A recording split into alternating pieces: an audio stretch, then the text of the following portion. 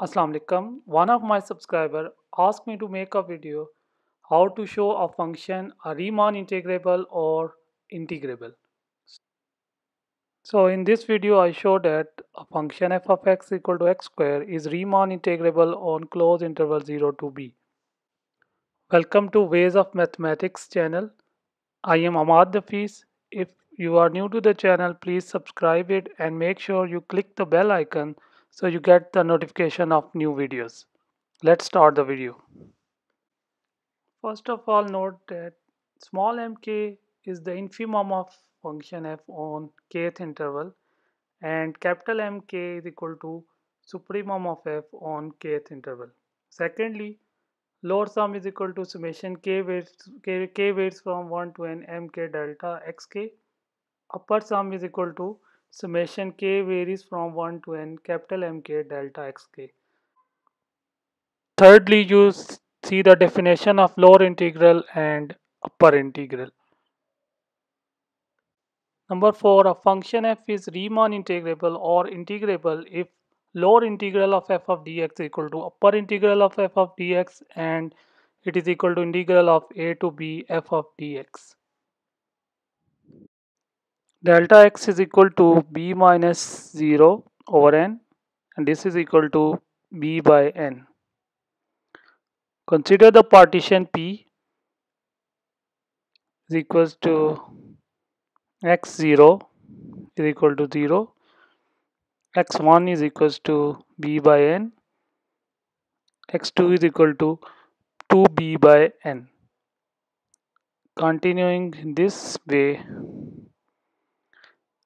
n minus 1 b by n. And the last point is n b by n which is equal to b.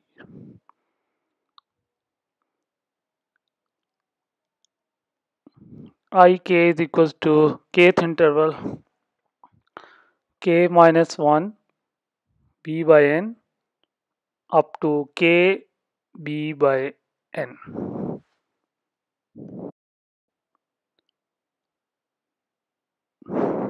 The value of mk is equal to kb by n whole square which is equals to k square b square divided by n square. mk is equal to k minus 1 b by n whole square.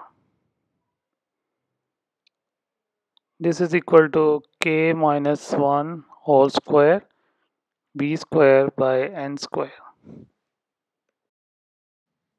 The value of upper sum is the putting of the value of mk k square b square over n square into the value of delta xk is b by n. This is equal to b cube by n cube summation summation k varies from 1 to n k square. This is equal to b cube by n cube into n plus n plus 1 into 2n plus 1 by 6.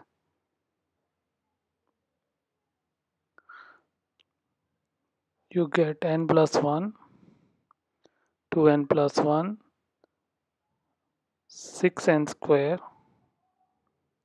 b cube.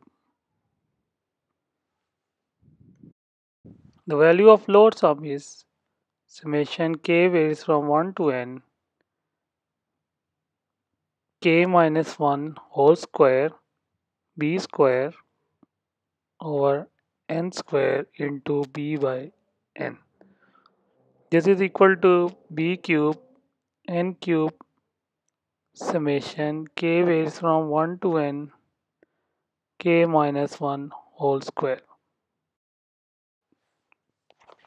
b cube over n cube n minus 1 into n to n minus 1 divided by 6 to n minus 1 to n minus 1 divided by 6 n square b cube.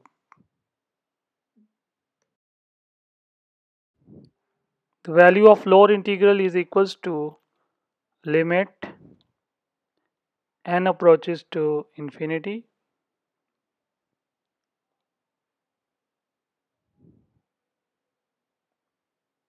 n minus 1 2n minus 1 b cube divided by 6n square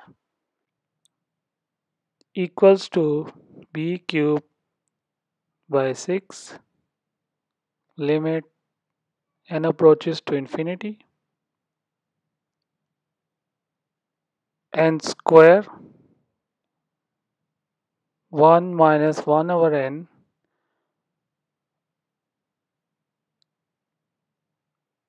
into 2 minus 1 over n divided by n square.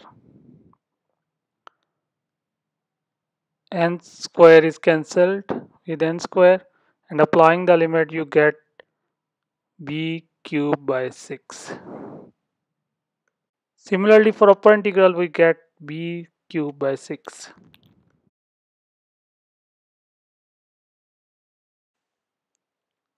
lower integral 0 to b f of x dx is equals to upper integral from 0 to b f of x dx and this is equal to b cube by 3 therefore f is Riemann integrable from 0 to 0 to b and the value of integral a to b f of x dx is equal to b cube by 3